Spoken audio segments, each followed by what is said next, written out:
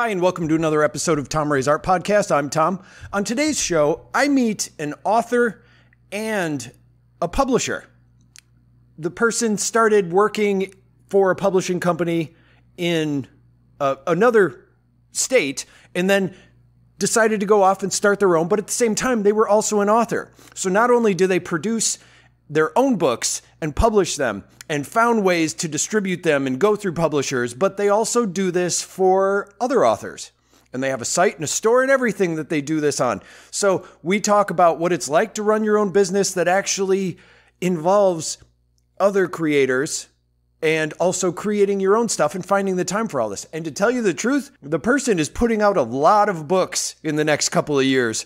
And it's all planned out. It's a great conversation. It's a lot of insight uh, that's really helpful in looking at what it's like to be on both sides of the creative aspect of things. So here's my interview starting right now.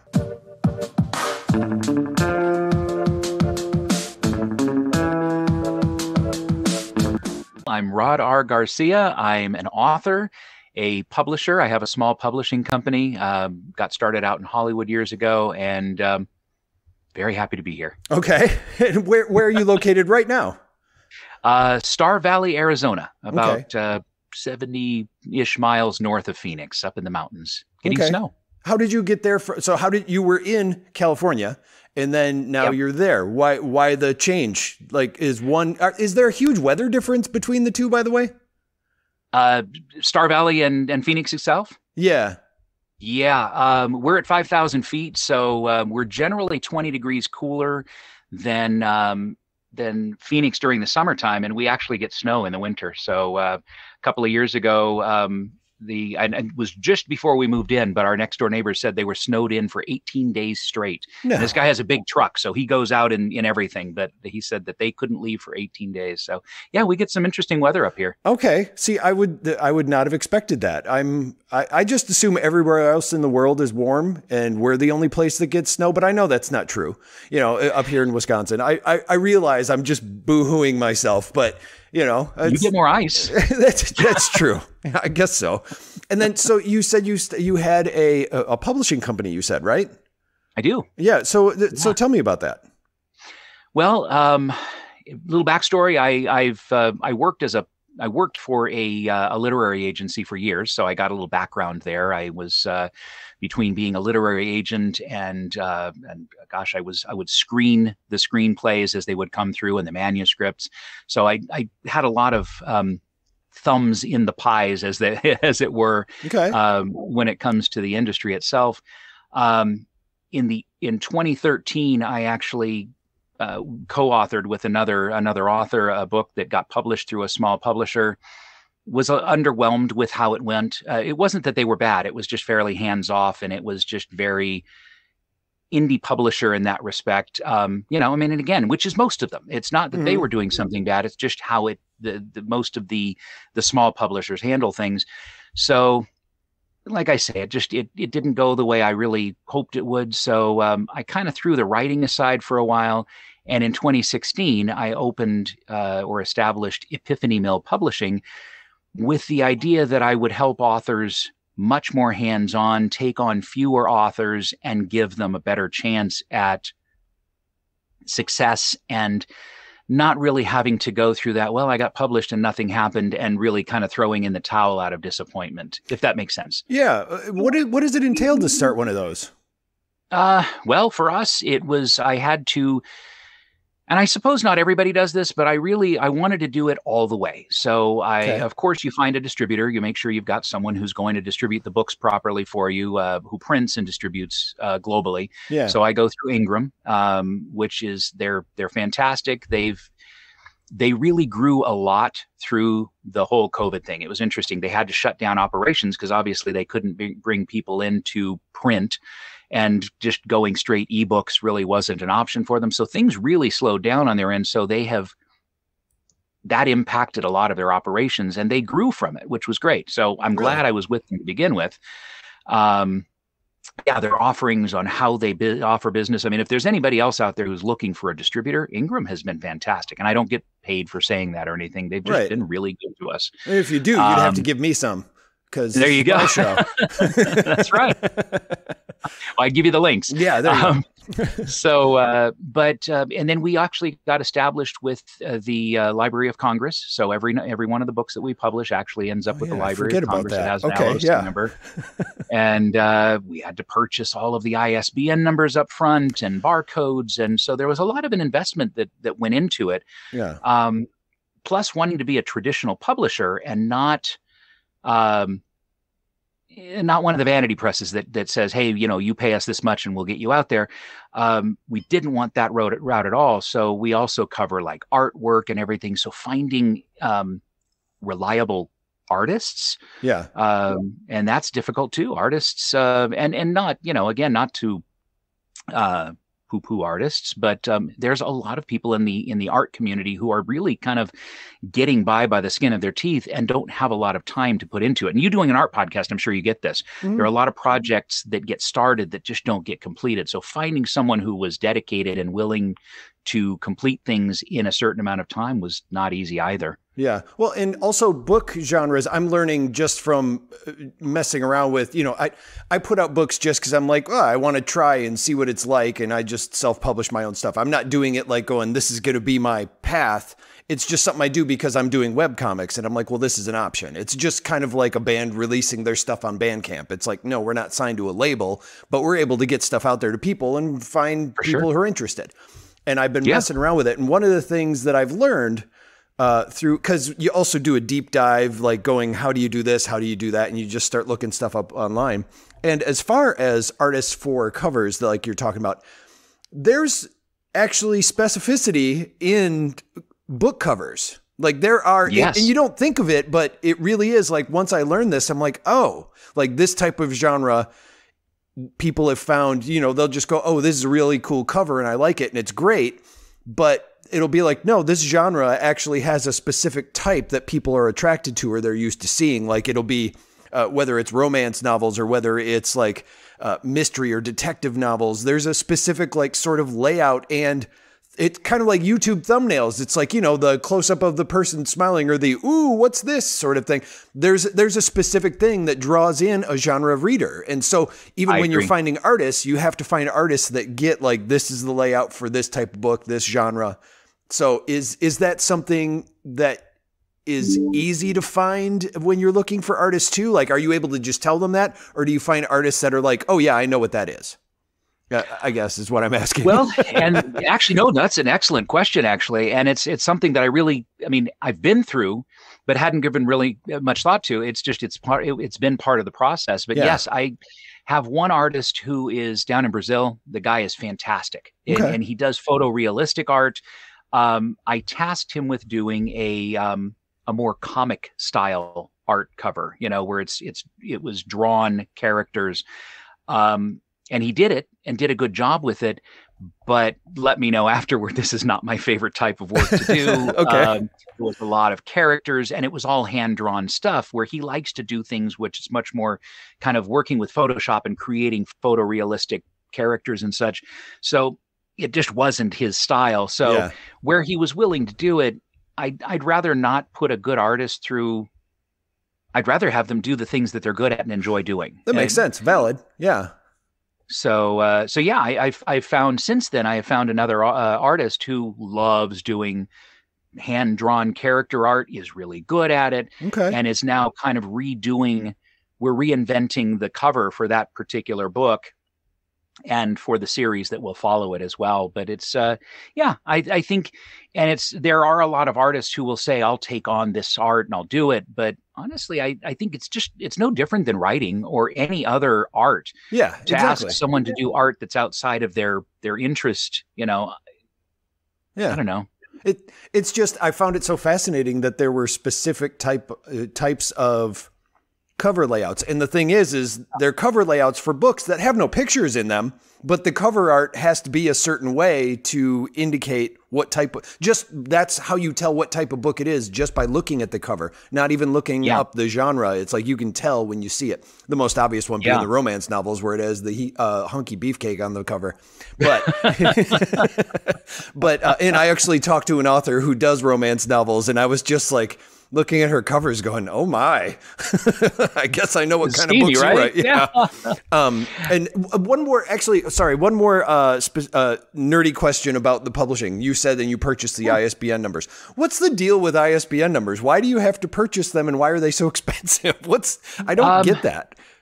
They're basically social security numbers for a book. Really? And essentially, the ISBN numbers are they indicate not just the the title, but I have to have multiple ISBN numbers for for titles that I put out. So I have an ISBN number for the paperback. I have an ISBN number for uh, an ebook.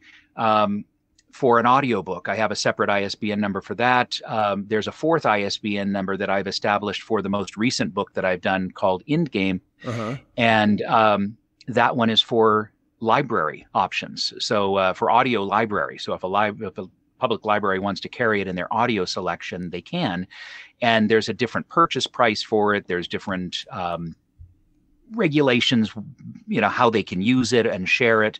So the ISBN number kind of includes all of that data in in in addition to the information about the book itself. I mean, you can publish without them. It just certainly adds Right, some yeah. a level of validity to it. I think. Yeah, it's it's like a uh, I want to say a sign. It's not a sign of prestige, but it looks more like oh, you have an ISBN number, you know, or you know, this could be scanned at a place, Yeah. and when they scan it, they know that it'll instantly show up, or they can put it in their inventory and all that kind of stuff. Yeah. Yep. Um, Absolutely. So now moving on from okay, that's enough publishing questions. Let's talk about you. uh, so what all what what would you say the genre of books that you write are? Currently, young adults. Um, young, Young adults, adults, fiction. okay. Yeah. Um, young adults, sci-fi, dystopian. Uh, Okay. I'm a, a big fan of dystopian sci-fi, like Philip K. Dick and uh, gosh, Michael Crichton, if you could put him into that, All right. uh, into the same range. So s- more science fact in some in some regards, but uh, uh, you know, even Gene Roddenberry uh, writing Star Trek, I respected the way he handled it because he would always he had a group of people, uh, college professors mostly, that he would reach out to when he was writing and say, okay. "Will this be possible one day? Not was- now, not you know." I was just going to ask, do you do background? It sounds like you probably do. Like you make sure to check it. You don't just go, I heard this somewhere and this, uh, maybe I'll just elaborate on it uh, because it's a book and you Yeah. can make it up. But you actually try to uh, somehow solidify it in actual science? Yes, I, I do a lot of research, and um, and in fact, I keep track of all the websites that I go to for actual research. So there's uh, there's a part toward the uh, the middle of this first book that I've just released. Um, where there's a lot of talk about the brain and the resilience of the brain and how nanotech could actually restore brain yeah, neural you know neural pathways and such Okay. and it's all real science it's all stuff that's being that's being studied right now so Yeah. i try to keep things at least in a realm of possibility if not probability Okay. I do love a good nanotechnology story, to tell you the truth. I, I find myself always being fascinated by it. And I know that it's been used in many different ways, comedically and also, you know, comic book wise and actual science, which I still. The actual, the actual nanotechnology. I mean, I just picture as little crawling bugs that are tiny little robots that they made. I don't know what it actually is, but that's what my viewpoint is, and that's what I'm sticking with. Uh, pretty much yeah. that's pretty much it yeah Were you always writing this type of genre, or did you eventually evolve into this type? I, you know, I kind of evolved into it. That's Okay. that's, that's another really good question. I, I did. I and I write a lot of different things. I actually have a, a, and I call it psychological horror, but with a SCI, like sci-fi. So I call it my psychological horror. But Okay. it's, uh, Nice. it's called Iteration, and um, it's it's definitely on the horror uh, fringe. But oh, it's okay. it's one of those that I um I push aside now and then because the character's very dark and I it's harder going there with the character. Yeah. So uh, I'll finish it one day, but it's uh it I I have a lot of interest in different areas, different genres, but man, I've um and I do other young adult stuff and kind of um I have a a children's book that I've been writing called Duncan the Flower Breathing Dragon. And Okay. uh, I've been doing that for my daughter, and she'll get it one day, one year for her birthday, much later than I intended. But uh, Okay. she'll get it for her birthday one year. And um, I love it. What is she I- pressuring you to finish the book already? you know, she probably has forgotten it even exists. But right. uh, it'll happen one day, and it'll be dedicated for her. You know, and uh, Nice. but I've got so many characters and so many storylines and plot lines that I've developed over time that haven't necessarily gone places. Um, but this has been fun because the world of Packard Campbell in indGame is he's a gamer. He's mm-hmm. uh, in fact just a just a small small backstory for him is he's he's dying of a an incurable disease. His father he's he lost his mom at an early age. His father is um, takes the high road and decides to really bring his son into his life as closely as he can. Okay. So he has his son beta beta test games that he develops through his company, Individual Gaming, which is where indGame came from. Okay. And um, so Packard is testing these neural interface games, which I, I pulled a, a little bit from kind of the Philip K. Dick idea that memories can be implanted. So as as Packard is playing the games, he remembers the gaming as its real memories. So um, it uh, but the games that he plays are many of them are based on other properties that I've developed, characters that I've developed, concepts for storylines that I've developed. So as they come out eventually, it's kind of fun because they tie right back to the the indGame series in that kind of odd way where they're games in his world but real to the characters in the the other books. Yeah. If that makes sense. It, it does. I, I actually kind of like the whole testing out the game thing. Now, when you do these books and you, so that's the storyline, like what's your process in starting each story? Like you have this character and also you don't just do the one book you're, you've already mentioned, you do other books as well. And, yeah. Uh, like, what's your process going? Like, okay, today I'm going to write an indGame story, or not today, but this year, but today you're going to write a whole book in one day. Yeah. But you know, what's the process starting out with a, a story like that? Let's say indGame. Well, um, I was I was inspired by well, my my son is twenty. He's in fact he'll be twenty one in a few days actually. But uh, I've I've watched. I started out with games years ago. Mm-hmm. Um, as far as I mean, I had an Atari when I was 10. I had a Pong game when I think I was like six or seven. Games have already been a piece of of my life. And where I haven't been a hardcore gamer, I don't have a Twitch channel or anything, which I should. But I wouldn't. you look it. like you should. I mean, you got a nice I, setup there. uh, yeah, I guess I could actually. Uh, yeah. But uh, I, where I'm not a hardcore gamer, it's been a, a piece of me. So it inspired a lot of where the story came from. So in in starting indGame, it was fun to say, you know, what if this happens with a character? I I have to throw out a little nod. One of my favorite teachers from high school, his name was Sid Waller, okay. and uh, he was my creative writing teacher. And he started every class with, um, and this was be, this was in the '80s before fonts on computers. But he would start every class with a scripted "what if" on the board. It was always "what if" with a question mark and some ellipses and it was always done in a different script so it would catch the eye. But uh, uh-huh. every class started out with the words "what if," and so honestly, every creative process starts with "what if." And if I have uh, just the inkling of an idea, what would happen if this character was to do this?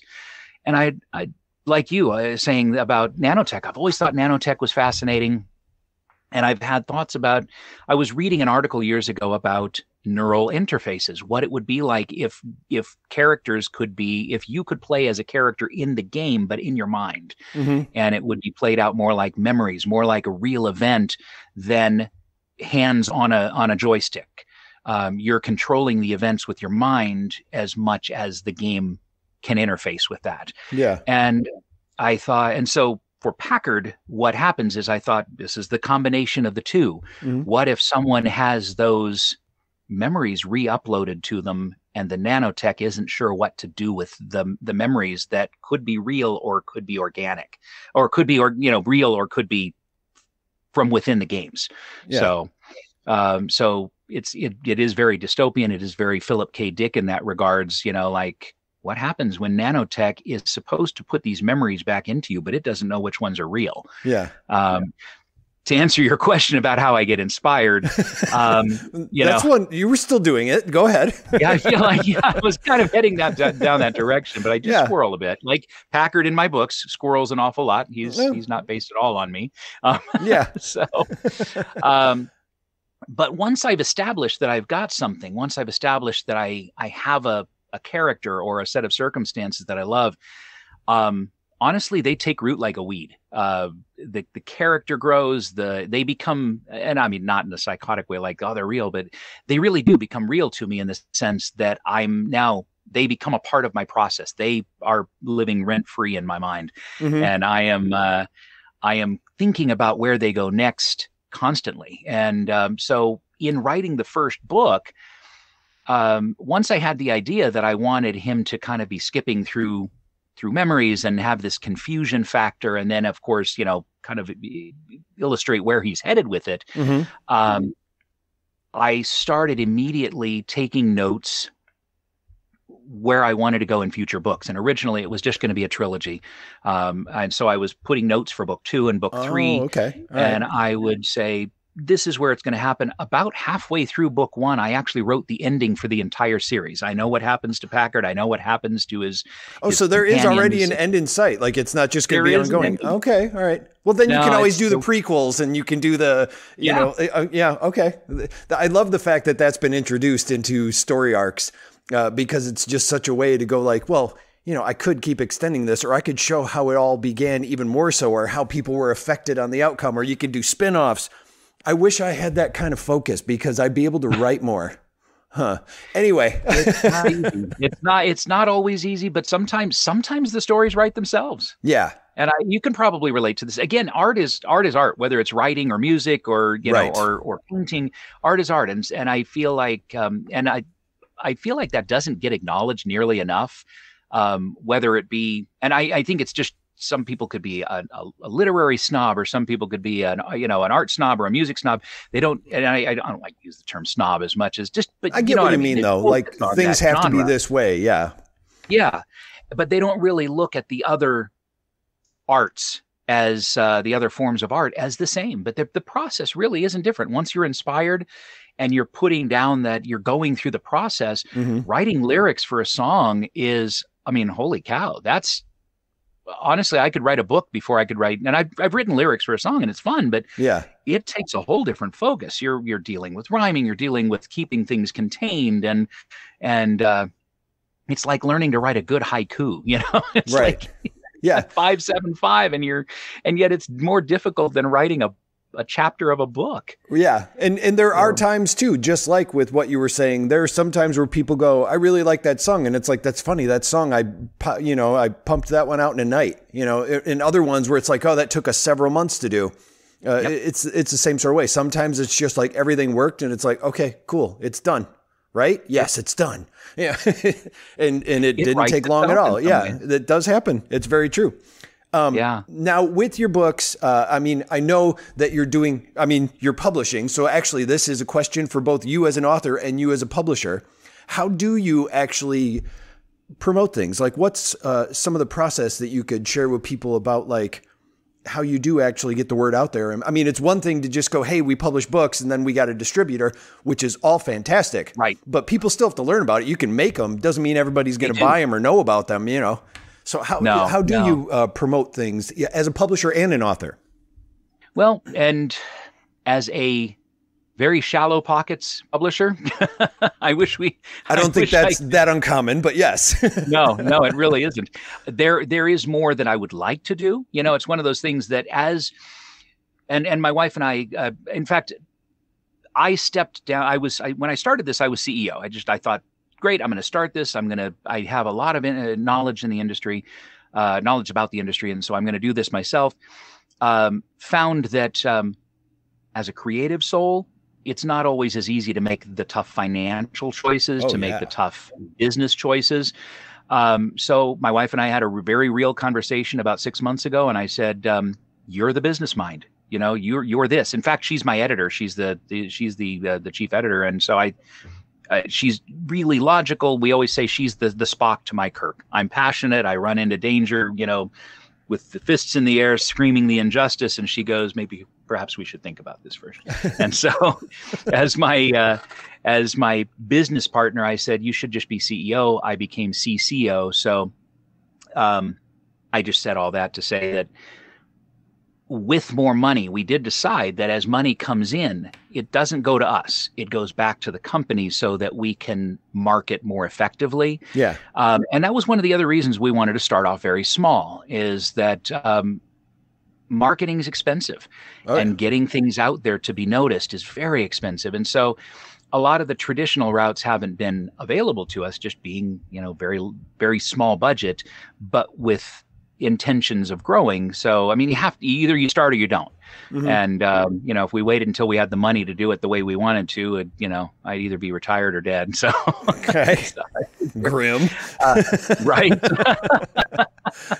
it just doesn't always happen. Right, so yeah, we started knowing that things would be definitely shoestring. Mm-hmm. Um, but social media is has been um, it has been wonderful for us. I you have to be very active and make sure. And some of it, I, I really let my Instagram kind of suffer for a while. Mm-hmm. But I'm I'm more active on Facebook. I've been pretty active on Twitter.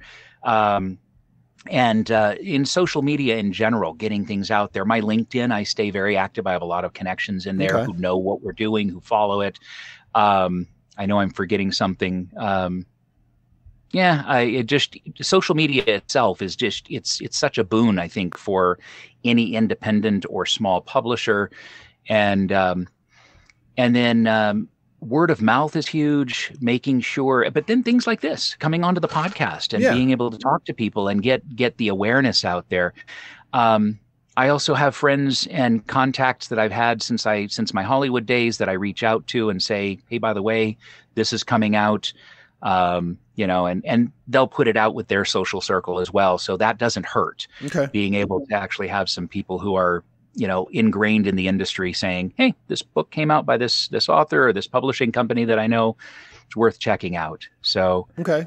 And are you creating cool. landing pages for these individual books, or are you sending them directly to the store where they're available? Like, how are you sending people to the sites? Because I know there are different ways to go about that and different yeah you know uh, so what i guess i'm curious what method you use to to actually send people to a specific book well i have a few different ways to get there okay. um, and i figure the the more i don't want to get it convoluted where it you know it's like well i have no idea where i'm going or you know why i'm looking right. i'd rather funnel them and and i don't like the term funnel because i know whole, i like, hate that term too but it's become, visually it makes sense but it's like god it just yeah. sounds like you know it, it sounds like herding cows you know it, yeah. i don't i don't like that that term either but it's yeah, and it's just I think at this point, especially with the way marketing is done, eh, and and the term click funnel going into everything, it just oh, oh my goodness, so, yeah. Like well, and I don't have have landing pages per se that are just, um, and it's um, I I try to keep it a little more organic. Having worked in SEO and knowing how it can feel kind of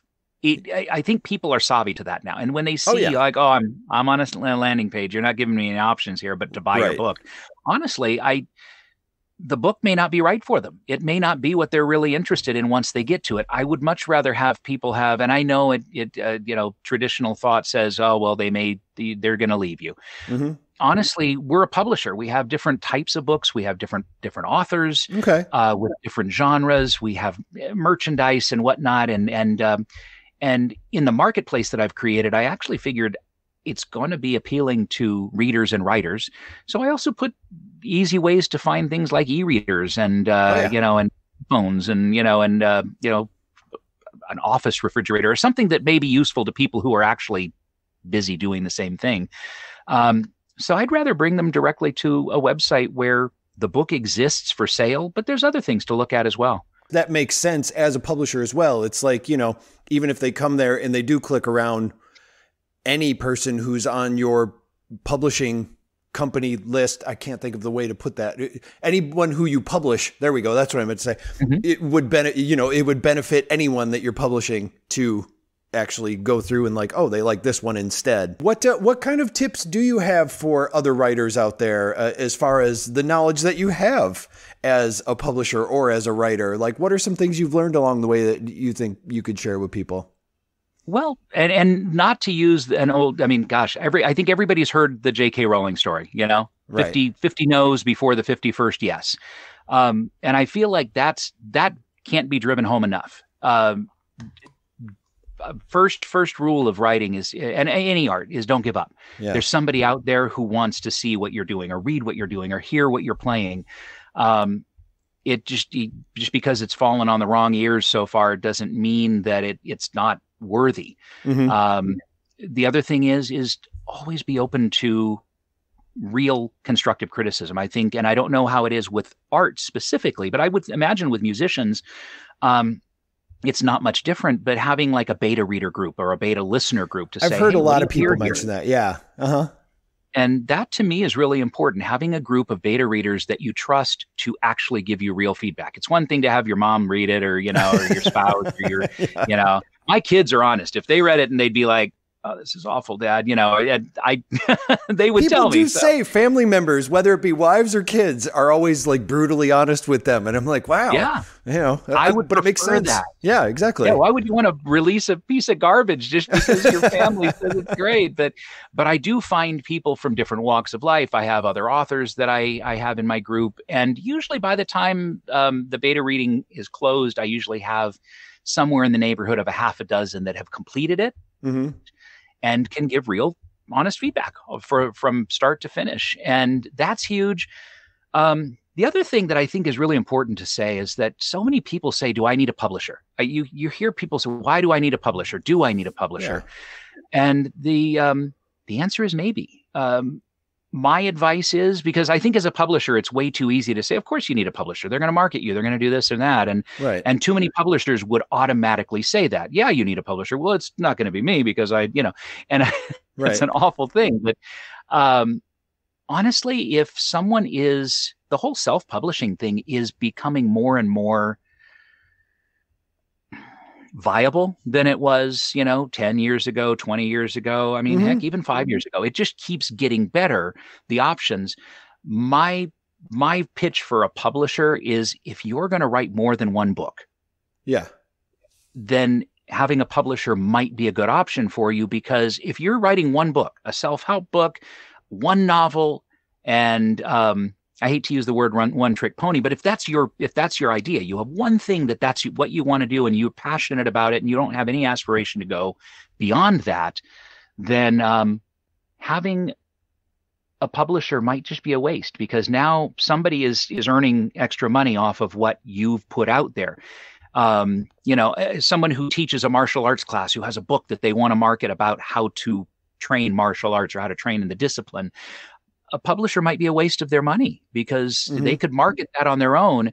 Your passion was put into that book in writing it. Put the same passion into marketing it, sharing it, getting it out there. Yeah. The time that you spent uh, writing it, now spend it on social media and get it out there and, and be excited if you are writing a series like I'm doing, or you have multiple books on the table and you know that this is going a long time, the problem with all that marketing is you could be spending time that you should be writing marketing. So it's it really becomes a, a balance. You know, if you're not doing a lot of it, hmm market it yourself. You're nobody's going to be as passionate about marketing your own book as you will be. Yeah. Um, but if you're writing a series and and a publisher can get in there and start helping you develop that following, yeah. that's where it's worth it. And and the one thing too is uh, what I've heard from very many people is yes, marketing themselves is what they would love to do, but also the drawback being they just don't have the time. I've heard so many people say they just wish they had more time to market it because they Yeah. do spend so much time making it. And that is the Yep. give and take of doing it yourself is making the time to actually put it out there or to find avenues to promote it. And even if you want to, it's it, truthfully, I think it's even harder if you decide not to advertise and you try to just do it through social networking and all that kind of stuff. I feel like that takes a lot more time to grow. Other people I know that I've met, it's, or, or at least it does for me, because other people I've met, I've had so many conversations where they're like, I posted this one thing and all of a sudden it got really popular. And it's like, damn you. Um, Yeah. I mean, good for you, but how did that happen and how do I do it? Um, Right? So, so I always go more of the advertising route, and also because that's just my background. You know, it's that's what I know. So you said you have the series you're working on, and I just realized Mm-hmm. I wanted to know how far along in the series are you, and when is this ending that you've uh, constructed already uh, Ah. scheduled to happen? yeah. Well, originally I had, I, I, it, by design, it was going to be three books. I was going down the trilogy route, you know, the, Okay. the, the beginning, middle, end, you know, uh, act one, two, and three. Um, finished book one, and I realized I between and knowing where I was going in book two. And I mean, as, again, as a creative person, you'll get this. I, I feel like once you develop good characters, you realize I, I have to do something with them and I three books isn't going to be enough. and so or two more books to Okay. wrap this up. So um, it's it's definitely going to end up at least four, probably five books at this point. And um, it could end up going further. I feel like when Stephen King was writing the, uh, nope, not comparing myself to the King, but but I feel like when Stephen King was writing The Dark Tower, he really didn't know how many books there were going to be or where it was going to end specifically. Okay. And it wasn't until he was in that awful accident getting hit by the van that he finally goes, I gotta, I gotta finish this. right. I might not make it to the end myself. Yeah, I was going to Um, give you the example of Dan Harmon, where he came up with the adage six seasons in a movie. You know, so there's that too. There you go. Yeah. I like he went beyond the trilogy and was like six seasons in a movie. Um, you know, so uh, anyway, when do you think the actual ending is going to happen, or do you think it's still going to evolve? Not that I'm Um, trying to ask you to finish your. Geez, No. that makes it sound like I'm going. Be done already. no, no.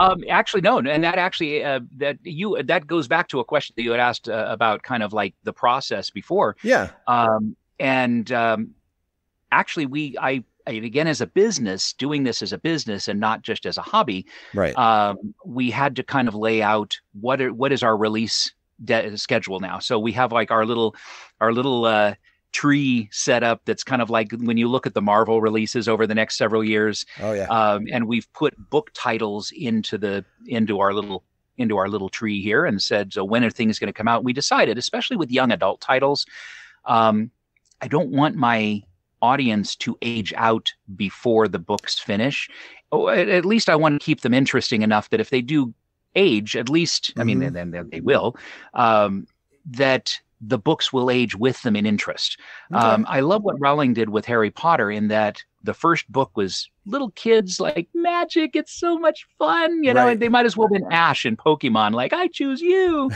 Um, but by the last book, it's danger. You Yeah. know, they've grown up. They've lost people that they loved. They've they've learned that their actions have consequences. That there are people out there who will hurt them Mhm. and um, that's uh, uh, to me that was that was an uh, I I wanted to take a, a page from her book in that regard of growing the characters or growing the tension with the books, and so um, we have scheduled out how the books are going to grow. But uh, back to the the timing, we've decided that each of the books is going to come out nine nine months apart Nice. um, okay. to keep them to keep the flow going to keep the audience interested and um, and in between there's a another young adult series um, called the evolutants which is a part of edmund j gray's uh, book series that we're releasing in between so there will be young adults books coming out technically every four and a half months for the next several years so Nice. but indGame uh, will come out every nine months for the next four to five years. Wow, that's impressive. So- I'm yeah, that's a nice timeline. You've wow, you've padded that out really well. That's good. I'm, I'm sorry, Uh, that was just really impressive. Damn. anyway, um, so if people did want to check out your books and the publishing company, where would you suggest that they go to find out more about this? So the publishing company is epiphanymill.com. It's the word epiphany and then mill like a like a paper mill. Mhm. Um, and but we went a little clever with the uh, the the marketing on it. We we we have a a place where they can buy merchandise called the Epiphany Mall. So it's epiphanymall.com. Um, so if they want to find the book, epiphanymall.com is probably the best place to go. Uh, to find anything about Epiphanymill uh, or submissions or finding out about the other authors, epiphanymill.com would be the place to go. okay. So, and if anybody's interested in just knowing any more about me, uh, rodrgarcia.com is there too. So Great. Well, I want to thank you so much for being on the show today. It was great getting a chance to meet you. thank you, Tom.